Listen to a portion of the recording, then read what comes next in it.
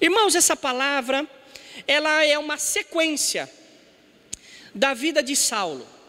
Às vezes eu vou chamar Saulo de Saulo, às vezes vou chamar Saulo de Paulo. Eu quero dizer para você que os dois são as mesmas pessoas. Ele passou a chamar Paulo depois que ele aceitou Jesus, da forma que nós lemos aqui. Antes disso, ele era Saulo. E Saulo foi um homem que desde pequeno foi criado aos pés de Gamaliel. Gamaliel era um mestre. Ele com seus 12 anos, ele era instruído pelos, pelo mestre chamado Gamaliel. Mas o Jesus pela qual ele teve encontro, aos 12 anos, não era instruído pelo mestre, mas aos 12 anos, o Jesus que eu e você servimos, aos 12 anos, ao contrário de Saulo, que ia até ao mestre para ser instruído, o nosso Senhor Jesus Cristo, aos 12 anos, ele debatia e ensinava os mestres. Por isso, maior é o que está em nós do que é o que está aí no mundo. Maior é o que está em você do que aquele que tenta te aterrorizar, que está aí no mundo. Maior é o que está em mim, maior é o que está em você. A palavra de Deus diz que Paulo, ele foi instruído por Gamaliel, e ele foi, pegou carta e estava indo para Damasco.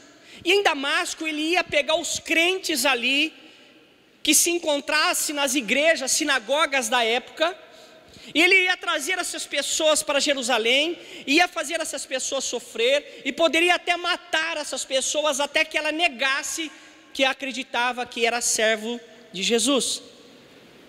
Mas no caminho, ele teve um encontro com Jesus. E ali ele caiu de joelho. Alguns dizem assim: ah, ele caiu do cavalo. A Bíblia não diz que ele estava aquele ele poderia até estar montado em um cavalo, mas a Bíblia não diz que ele caiu do cavalo, tá certo? Então, se alguém fala caiu do cavalo, talvez esteja imaginando, mas ele caiu de joelho em terra, já cego, e uma voz dizia para ele: Saulo, Saulo, por que me persegue? Se Jesus estava fazendo isso, e Paulo estava perseguindo Jesus, sendo que Jesus já tinha subido ao céu, quando Jesus estava falando isso, ele estava falando: olha, quando você persegue aqueles que me servem, eu tomo as dores, é a mim que você está perseguindo. E ali ele ficou cego. E o interessante de tudo isso que Saulo, o fato de ele ir atrás do povo e perseguir o povo, ele achava que estava fazendo certo. O povo está acreditando em uma outra religião aí, é, são cristãos, e cristão é errado. E o fato dele ir atrás para matar esse povo e prender esse povo, ele achava que estava fazendo certo. A mesma coisa aconteceu com o Malco. Lembra o soldado que teve a sua orelha decepada? Paulo, quando viu Jesus sendo preso, né? Pedro, aliás, né? Paulo já está lá na frente. Pedro, quando viu Jesus sendo preso, o que, que Pedro fez? Arrancou da espada e cortou a orelha do soldado, Malco. Aí o que aconteceu? Jesus falou assim: Pedro, guarda essa espada. Foi lá e consertou a orelha de Malco. Na visão de Pedro, ele estava fazendo certo, achando que da forma dele de fazer, ele estava fazendo a obra de Deus, que ele estava fazendo aquilo que o Senhor queria que ele fizesse. Mas a verdade não, Jesus mandou ele guardar a espada.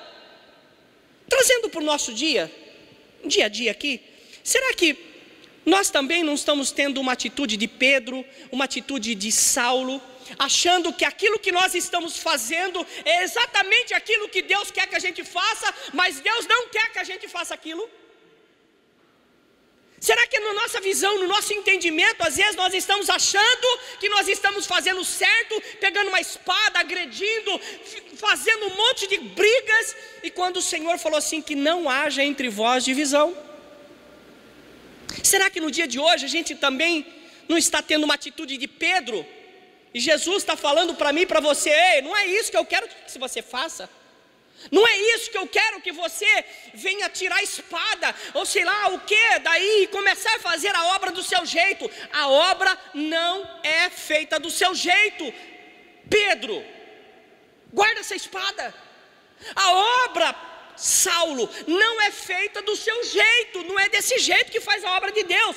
E aí essas duas pessoas foram repreendidas por Deus.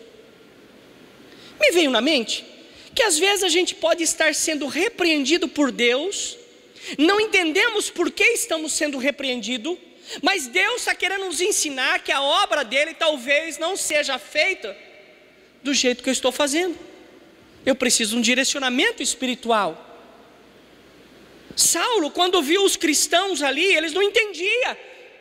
Achava que aquele povo devia morrer, aquele povo devia sofrer, aquele povo tinha que ser preso. Era essa a visão dele. E aí, os soldados não via nada, mas ouvia o que estava sendo dito. Até que pegaram ele pela mão, levantaram ele, levaram na cidade, colocaram numa casa lá na rua direita, na casa de Judas. E o interessante de tudo isso que nós lemos que ao contrário que talvez daquilo que Saulo não fazia, ele começou a orar. E a palavra de Deus diz que ele, cego, por três dias ele não comeu e não bebeu, ele fez um jejum. Por três dias, e a palavra de Deus nos ensina que Saulo, ele teve uma visão que um homem chamado Ananias entrava pela porta e orava por ele.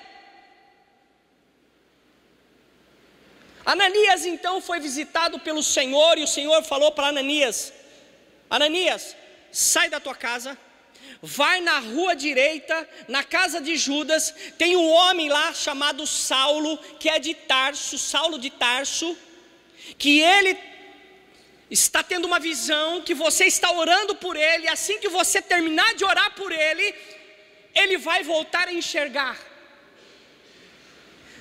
Sabe o que eu aprendo aqui? Que Deus às vezes fala comigo e com você o que nós temos que fazer.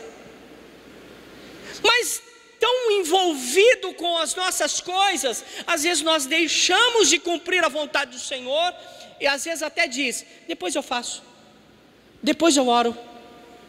Quantas vezes você diz que depois ia orar e não orou? Quantas vezes você diz que ia fazer alguma coisa depois e não fez? Passou. A palavra do Senhor nos traz aqui uma orientação que Ananias conhecia a história de Saulo. Ele era um perseguidor, ele era alguém que fazia mal aos crentes. E ele falou para Jesus, eu fico espantado e, e, feliz ao mesmo tempo, a sinceridade, a transparência do, do sacerdote, do homem de Deus, Ananias, chegar para Jesus e falar assim: Olha, o Senhor, como se tivesse que explicar algo que Jesus não soubesse. Mas é interessante essa conversa, porque Jesus pôde responder a ele, porque se ele não fala com Jesus, se ele não fala com Deus, Deus não poderia dar uma resposta a ele. Então Deus nessa noite quer dizer para mim, para você, conversa comigo, que eu quero falar com você. E ele falou: esse homem que está aí, Saulo de Tarso, que o senhor falou, esse homem está com uma carta na mão, ele está vindo de Jerusalém e fez um mal a um monte de gente lá, e o senhor quer que eu vá lá e ore por ele. Irmãos, é uma coisa muito interessante isso que Jesus está falando com Ananias, porque a obra de Deus não é feita daquilo que eu gosto de fazer. A obra de Deus é feita daquilo que Deus quer que eu faça. E nem sempre aquilo que Deus me pede é agradável ao meu físico, é agradável aos meus sentimentos. Muitas vezes não. Eles nos pedem, às vezes, coisas que é difícil. De repente, olha ali para Davi e fala assim: Ó, Davi, você vai enfrentar o gigante. Ele falou: Eu enfrentar o gigante? Por que, que eu? Porque quando Deus nos escolhe, Ele também capacita. Quando Deus nos coloca em uma batalha, uma luta, diante de um problema, creia, Deus também vai nos capacitar para vencer. Então eu quero declarar: você está, está, enfrentando luta, Deus vai te capacitar e você vai sair dessa luta mais do que vitorioso em nome de Jesus. Deus não nos coloca diante de uma luta para nos ver derrotado. Porque se um cristão é derrotado pelo inimigo, quem está sendo derrotado é Deus. Quem está sendo derrotado é o Senhor. Porque o desejo inimigo para atingir a Deus, ele mexe com a, comigo e com você. Aqui, Saulo não estava mexendo com o povo de Deus. Quem que apareceu em defesa? Jesus, Saulo, Saulo, por que, que me persegue? Jesus já estava no céu, como assim poderia Jesus estar sendo perseguido? Não, é porque se você é povo de Deus, quando alguém te persegue, está perseguindo a Cristo, e quando está perseguindo a Cristo, Ele defende, Ele entra na luta, Ele entra na tua causa. A palavra de Deus continua nos ensinando que, quando ele chegou naquela casa, ele falou: Olha, eu estou vindo aqui, e quem me mandou aqui foi aquele que falou com você lá no caminho. Olha, que confirmação. Que confirmação. A gente precisa tomar posse dessas confirmações de Deus. Sabe, é muito interessante ouvir a voz de Deus. Quando, enquanto Saulo estava com aquele problema de vista, Deus ministrou no meu coração que Noé ficou 100 anos aproximadamente, um pouco mais até, para construir a arca. Irmãos, Deus poderia fazer essa arca em muito pouco tempo, capacitar Noé de uma forma, mas enquanto a arca estava sendo construída, enquanto Noé estava trabalhando na arca, Deus estava trabalhando em Noé. Enquanto Noé estava trabalhando na obra de Deus, o dono da obra estava trabalhando em Noé. Enquanto você trabalha na obra de Deus, o dono da obra, Deus, trabalha em mim e trabalha em você. Esse envolvimento nos faz crescer. Nós nos aproximamos de Deus quando nós fazemos a obra dele. E não existe obra difícil. Existe obra que eu não quero fazer. Existe algo que eu me recuso. Quando eu me recuso a fazer essa obra é difícil, mas quando eu quero, meu irmão, quando você quer, noite vira dia, final de semana vira dia de semana. É que nem água de morro abaixo e fogo de morro acima. Ninguém segura, vai que vai. Mas quando eu não quero, qualquer coisinha se torna um empecilho. Deus trabalha na vida daquele que trabalha para Ele. A palavra de Deus continua nos sentando que, enquanto Noé estava ali construindo a arca, Deus estava trabalhando na vida dele, preparando ele para o depois, porque o próprio Noé nunca tinha visto chuva, estava construindo um barco que ele não sabia como que ia acontecer, como, o que era flutuar, ele não sabia isso, ele não sabia o que era chuva, como eu e você conhecemos aqui, e aí ele estava fazendo aquelas repartições, e eu fiquei pensando, irmãos, para um pouquinho aqui, Deus fez uma arca daquele tamanho, do tamanho de um campo de futebol aproximadamente. Se você passa aqui perto do, do, do Kobe aqui, esse, esse estádio que tem aqui, você vai olhar por, por eles e você vai falar assim, nossa, a arca era desse tamanho? Pois é, era o maior barco da época. E aí, o interessante disso é que Noé estava fazendo as repartições e Deus falando para ele, olha, essa repartição aqui vai vir esse animal, vai ser animal. E eu fico imaginando Será que no coração e na mente de Noé não falou assim: Deus, o senhor vai preferir salvar os bichos do que as pessoas? Você já parou para pensar? Deus escolheu salvar os animais irracionais, mas não chamou e não salvou os animais racionais, os, os inteligentes. Interessante isso. Mas Deus tinha um propósito que a partir daquele trabalho que ele estava fazendo em Noé, a partir dali ia se nascer uma nova nação. Eu quero dizer para você que não importa o que está entrando ou saindo da tua vida, Deus vai fazer de você um propósito abençoado para Ele. Amém? É, uma pessoa quando ela se sente amada, ela não, ela não tem problema com nada.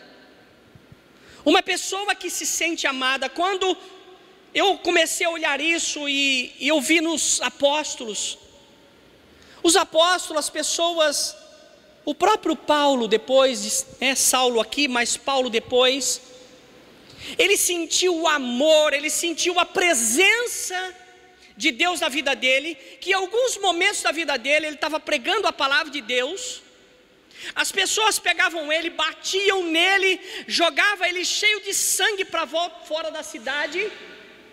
Ele mal limpava o sangue, voltava lá na mesma rodinha onde ele estava ministrando e falava para eles assim: Onde é que nós paramos? Porque quando a gente ama o que faz, não tem problema que nasça como obstrução. Quando a gente faz as coisas de Deus porque ama, o problema só aparece para ser superado e não para nos derrotar. Sabe, quando um problema aparece e nos derrota, nós somos menor que o problema. Deus então não tem a total força, porque o Espírito Santo habita dentro de mim, habita dentro de você. Eu sou potencializado sou mais do que vencedor, posso todas as coisas, porque quem está de mim, dentro de mim, dentro de você, é o que nos fortalece, é o que nos dá força, é o que nos dá visão, é o que nos dá direcionamento, é o que nos dá sabedoria, é o que nos dá o que nós precisamos. Mas se ele não está tendo total liberdade para agir, eu olho para um problema e falo problema: hum, esse problema é grande, hein? Mas quando você olha para Davi, Davi de repente, as ovelhas não eram dele. As ovelhas que Davi tomava conta eram do seu pai Jessé. E ele estava ali cuidando das ovelhas e tal, e de repente apareceu um leão lá e ah, pegou uma ovelha. Ele saiu para cima do leão e falou: Quem está pegando? Essa ovelha não é minha, não, nem sua também. E arrebentou o leão, matou o leão. Aí apareceu o urso lá, não sei qual que veio primeiro, mas é, é uns dois. Apareceu o urso lá, a mesma coisa. Irmão, você já ficou, já viu um urso de pé perto de uma pessoa? O bicho é bruto. E como o homem daquele tamanzinho foi lá e venceu tudo isso? Porque ele era potencializado pelo Espírito Santo que habita dentro dele, e o mesmo Espírito que estava dentro de Davi, que venceu até o gigante, está dentro de mim e está dentro de você. Nós precisamos tomar posse disso. Sabe o que às vezes a gente precisa fazer? Tirar os nossos interesses de cima, que às vezes acaba entulhando o agir de Deus. Mas Deus nessa noite ele quer fazer com que o entulho, aquilo que impede, venha como as escamas dos olhos de Saulo, que caiu depois da oração de Ananias, essa venha cair dos meus e dos seus olhos também, e nós venhamos ver o mundo de uma forma diferente. A palavra de Deus nos diz que quando eu estou fraco, é aí que eu me torno forte. E eu comecei a ter uma conversa com Deus, falei, Senhor, como que é essa história? Ele falou assim: que enquanto você se acha alguém forte, quando você se acha forte, quando você acha em condições, você bloqueia o agir e a condição de Deus. Quando eu me acho alguém, eu vou até eu esmurecer, até eu não aguentar mais, até eu cair, aí eu me tornei fraco. Só que aí eu falo para Deus assim: Deus, me ajuda aí eu me tornei mais forte do que eu era quando eu estava achava que estava forte. Se você nessa noite está se sentindo assim, abatido, está se sentindo fraco, está sentindo que não tem condições de vencer, não tem condições de nada, nessa noite quero dizer para você que se você chamar o Senhor, você vai ser mais forte do que você estava bem. Você vai estar vencendo a dificuldade, porque a tua força, o teu apoio não vai estar sobre a sua vitalidade, mas vai estar colocada sobre o poder de Deus que é infalível. Nessa noite tem algumas orientações para mim e para você. A palavra de Deus diz e nos ensina que lá no Éden, lá no Éden, Adão e Eva, Deus os colocou eles ali e eles estavam nus. Esse nus, para o nosso dia de hoje, tem um significado. Estar nu é ser transparente, é ser honesto um com o outro. Eu olho para você e já sei como você está, se você está bem, se você não está bem. Este nu é de ser transparente, é de ser honesto, é de ser você mesmo, sem ter que colocar uma máscara e sentir uma outra pessoa ou se fazer de uma outra pessoa. Não adianta ser fake. Está na moda essa palavra fake. Irmãos, quantos de nós às vezes, né, tá lá em casa, as coisas não tá indo, você não está enxergando saída, e de repente você coloca uma máscara.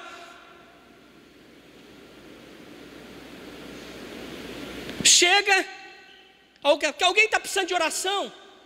Aquele que precisava ir lá e, e, se jogar nos pés do Senhor e falar: Deus, eu me humilho. Tem alguém que vai orar por mim? Eu me humilho, eu me entrego, Senhor. Use a vida dessa pessoa. Olha uma coisa aqui.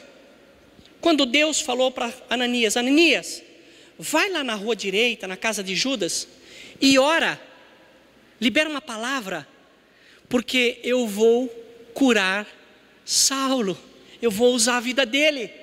Irmãos, eu fico perguntando assim, por que, que Ananias tinha que ir lá e falar assim: olha, o Senhor te cura, você está liberto agora dessa cegueira, você é uma nova pessoa em nome de Jesus, sendo que Deus queria fazer isso.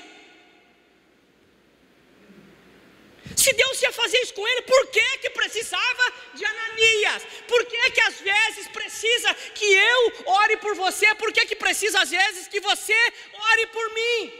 Por que, que Jonas teve que ir lá em Nínive e liberar uma palavra, sendo que Deus já sabia que ia salvar todo aquele povo? Por quê? Porque é necessário que haja concordância, é necessário que seja a palavra liberada. Se nessa noite você está aceitando a palavra, aquilo que você está aceitando está te curando, está te libertando, está te salvando, mas aquilo que você não aceita não muda nada. Ele foi lá e orou. O cara que era um perseguidor passou a ser perseguido. Irmão, ele escreveu 13 cartas não conheceu Jesus, de andar com Jesus, mas teve um encontro com Jesus, e de repente nessa noite, talvez Deus não está falando, Jesus não está falando, Saulo, Saulo, mas talvez o Senhor nessa noite está te chamando, o Senhor está te chamando e falando: Eu quero ser contigo, eu quero te usar, eu quero te usar, eu quero te usar. Talvez nessa noite, esta palavra está despertando em você um desejo de fazer a obra de Deus, liberando o Espírito Santo para agir, para que as escamas caiam. Foi necessário Ananias ir lá e liberar uma palavra. Como eu estou liberando uma palavra sobre a tua vida nessa noite, você é mais que vencedor, você vence, você vence, você vence sempre. Olha, Ananias não queria ir. Ananias não queria ir. E Deus falou: não, você tem que ir. Você precisa. E quando Ananias mostrou aquela resistência, eu fiquei imaginando, sabe? Eu não poderia aceitar então um pastor hoje numa igreja, como o pastor Deolindo é aqui, Irmãos, ele foi dependente químico. Ele cumpriu uma cadeia da brava.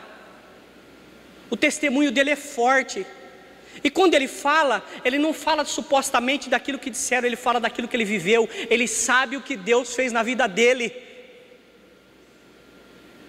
Irmãos, é poderoso aquilo que fez na vida desse homem. Eu falo dele, eu conheço ele. Eu, eu, o homem é uma bênção, mas ele passou. E como é que nós não vamos valorizar esse homem?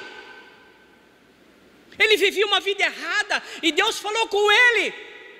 Ele aceitou. Hoje, em vez de ele receber uma palavra, ele é o canal de palavra para as outras pessoas. Irmão, se você me conhecesse há 35 anos atrás, você não ia estar aqui, sabe por quê? Sabe por quê que às vezes os familiares não acreditam numa mensagem? Sabe aquele negócio quando Jesus, alguém falou assim: olha, está vindo aí o. Pode vir alguém, alguma coisa boa de Nazaré?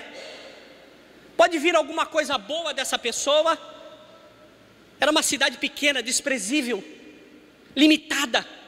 Talvez como eu e você, e talvez muitos tenham dito para você: pode vir alguma coisa boa dessa pessoa? Pode, porque quem age na minha vida e na sua vida é o Espírito Santo do Senhor, não é você.